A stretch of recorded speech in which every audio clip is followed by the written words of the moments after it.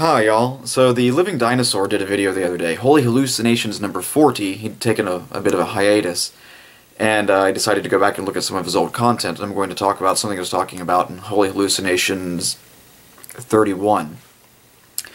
But there's this uh, notion that came up with that Ian Juby was talking about using a conservative estimate. This is something I used to run into in law enforcement.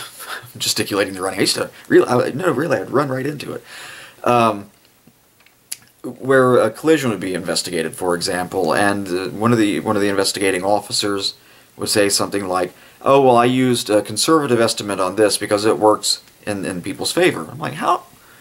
You have a okay, whatever. Say you have two cars that are going to collide. Once once you're at that point of no return, where nothing you do matters anymore, the collision's going to happen. The system is there fixed. There is a a set quantity of energy, a set amount of momentum." That you're just stuck with having to account for. And that is uh, transferred and dissipated in various ways throughout the, uh, the progression of the collision. And whatever you fail to attribute to one party has to be attributed to the other party, or if it's more people, whatever's failed to be attributed here has to be distributed among the other people. I'm like, that's what kind of what kind of forensic work is that? It's not. Well, I'm going to give this guy an advantage by giving that guy a disadvantage. How about how about this? Just uh, calculate things, count things, you know, really just be very careful about it so you're not having to do these conservative and uh, or liberal estimates. This is like a liberal or conservative interpretations of legal instruments. It's like, it's a legal text. What is a conservative, Justice Scalia said this, what's a conservative estimate of what the words say? Is that halfway between uh, what you want to hear and what they say? I mean, what's a liberal one? Twice as far removed from that? It doesn't make any sense. It says what it says. You give it, you want to give it a fair interpretation, a reasonable one. And sometimes, because things are ambiguous, uh, you can only do that within certain constraints. Well, you can always only ever do it within certain constraints, uh, but you want those constraints to be as narrow as possible so that your lower bound and your upper bound aren't that far apart. And, and, then you, you can say, well, at uh, here are the possible ways this accident could have happened or this collision could have happened, things like that. So when you when just because of the sensitivity of the instruments that you use to record the data is such that there's an error built into it, you give a range, and then the conservative would be the lower, and the uh, uh, liberal would be the, the, the higher. Or uh, I think I said that. I may have said that backwards. I wasn't listening to me, which uh, is good advice for the rest of you. So go ahead and take it. Anyway, that's an appropriate use of saying conservative and liberal. You're saying, look, there are some error bounds here. I can't say with with uh, with I, I can't say with absolute certainty what value is what which values are true, but I can tell you the range that they have to be. So when I was listening to Ian Juby talk about using a conservative estimate of the uh, population growth in the history of the planet for the last 4,500 years, um, of uh, what was it 0.46 percent, I was thinking, where the hell did that come from? And, and the scenarios like I described, you go out and you measure things. Uh, with, in populations, you go out and you, you count bodies. You're like, oh, one little, two little, three little Indians, four little, I don't, wait, one little, two little, three little Native Americans, four little, it doesn't work quite the same way. Anyway, you go out and count, and, and you, you make estimates like that. You don't need to count every individual person, uh, but you, you have to do some sampling of some type. And so I was trying to figure out where Ian Juby came up with this. And I may have thought about this when I watched Holy Hallucinations 31 the first time, and it just slipped my mind or I forgot about it. But when I was watching it again yesterday, I was like, I know where he come. I know. I have figured out how he came up with it. So, or one of the ways that he would have come up with it. There are a couple different variations on this, depending on his math skills, and we know he's a super genius, which, given as much as he relies on his Mensa credentials, credentials, I'm sure it means he had to ask someone to help him. But anyway, uh, don't be scared by the math. Uh, you have this general exponential uh, formula here this deals with uh, continuous growth. Since we're talking about uh, populations, generally that's uh, you want to model that with continuous growth. That's the the compounding that you want in this is continuous. So you have uh, people today. That's what the little man with the T is. That's the population today.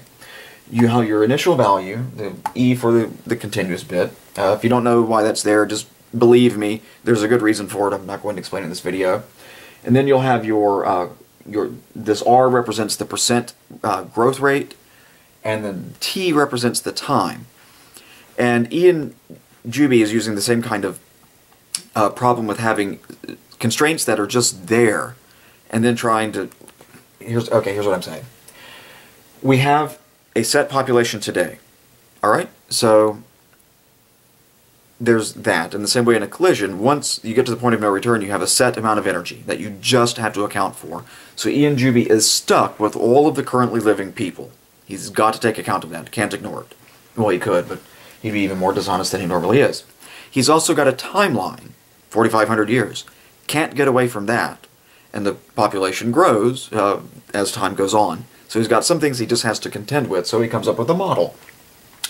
And also for this initial uh, population, which is back after Noah's flood, uh, he says that was eight people. So he's stuck with that. Then all he has to do is solve this equation to find out R. So we have 7 billion people living today. Well, approximately 7 billion people living today. Oops. And that's going to equal 8 e to the r, uh, 4,500. Those are the years that uh, he he says uh, have elapsed since Noah's flood. So you solve everything there real fancy like, so you divide out 8. Just believe me here when I tell you that gives you uh, 875 million, something like that. Uh, so that goes away, and now you've got this, and you've got this logarithm to do it, so you take the log of this side, uh, you take the log of that, and then what you wind up with is um, the natural log of 875 million, whatever that number actually is, and then you'll have r, uh, 4500, the natural log of e is just 1, divide out 4500, and that leaves you with r, and then so you'll have, uh, this comes down, divide that out by 4500 from both sides, And uh, when you, you crunch all those numbers, you get a number that is approximately 0.0046. Not exactly, but approximately there. Good enough for government work. Now, one of the things, uh, in the same way in the collision thing, you just have to account for uh, the conditions you're stuck with, the parameters that you are just dealt, that you just must contend with. And whatever you fail to account, uh, attribute to one person is attributed to another person. Whenever you make a change here, you have to allow for some other change in the system somewhere else. You can't get away from that. And this is a consequence of just the system existing in the way that it does, but also the model that you have constructed that you claim represents uh, this particular system. So what you have to be able to do, uh, there are two ways you can look at um, functions. There extrapolation and interpolation. Extrapolation, extrapolation is extending the, the function beyond the data that you actually have, so it's making predictions about the future. And then there are interpolations, which are things that should be within your data set. Uh, whatever you claim is giving rise to, uh, to your model, all the data that should be trapped within the model, the bounds that you've established, needs to be accounted for uh, by your model. So Ian Juby, that super, super duper genius, has given us uh, a, a model, and that is that uh, the um, what's it, 8 e to the point zero zero four six t will equal the, uh, since it's Ian Juby uh, who's doing this, we'll give it a frowny face because we're going to run into some problems. That'll give you the population at some time t. Okay. So uh, we're at 7 billion people today, so if you put in 4,500 years for t, you do indeed get approximately 7 billion people. Now, using his conservative estimate of 0.00, uh, 0.46% growth rate. Um, the Living Dinosaur went and looked at, I think, the population in 1950 or 1960 and noted that there was about a two. The, the error was like he was off by a factor of about two. Well, if you go back to something like um, 1900, which would be when uh, T instead of 4500 is 4385 this model says that you have a population in 1900 of 4,605,152,128 people. If you know anything about the world's history, you'll know that not that many people were actually living in uh, 1900. It was about 1.656 billion people, which is a uh, an error of 278%, or about a factor of 3 is what you're talking about. He's off by about three times as many people as you should, you should have, 2.78. Well, that is not such, I guess, a colossal error on these types of things. But if you go back to uh, the, the model further back, uh, the, your problems uh, are, are, multiplied. So let's go back to the time of Jesus. So 2,500 years ago, um, I'm sorry, 2,000 years ago, Ian Juby's model says that we had 789,726 people on the planet. Uh, the estimates, this is actually from going out and like digging up things, looking at records, but you know, to the extent that they can, the range is between 170 million and 300 million people. This is not a trivial error that he has going on. It's about, was that, three orders of magnitude off? So the, uh, if it if it was 170 million people alive at the time, that's uh, an error that's off by 21,526 percent, and if it was 300 million, that's 37,987 percent off. So that's uh, 215 to 379. The, the factor uh, you're off by 215 to uh, 379. That's not a trivial error that, that you want to find in in, in, in your in your data.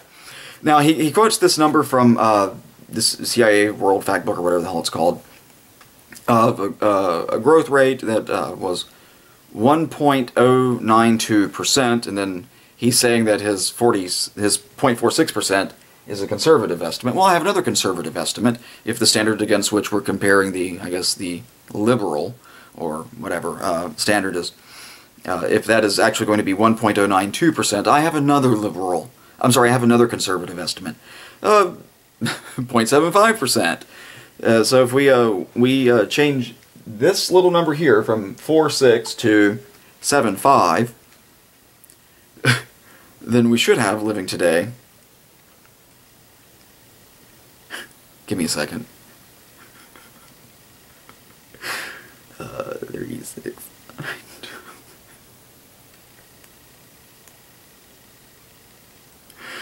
Three quadrillion, 635 trillion, 203 billion, 695 million, 780,706 people. Give or take one or two. it's a lot of people. Um, but if we really want to just use the data that uh, that he's plucking out of a book and saying that, that you know this is the standard or whatever, we we should expect to have today with a growth rate of just 1.092 percent. Um,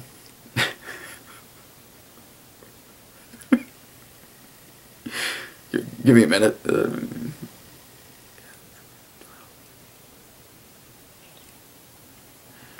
Seventeen sextillion, five hundred fifty-one quintillion, seven hundred sixty-six quadrillion, three hundred one trillion, four hundred fifty billion, one hundred million, one hundred ninety-two thousand, nine hundred nine people.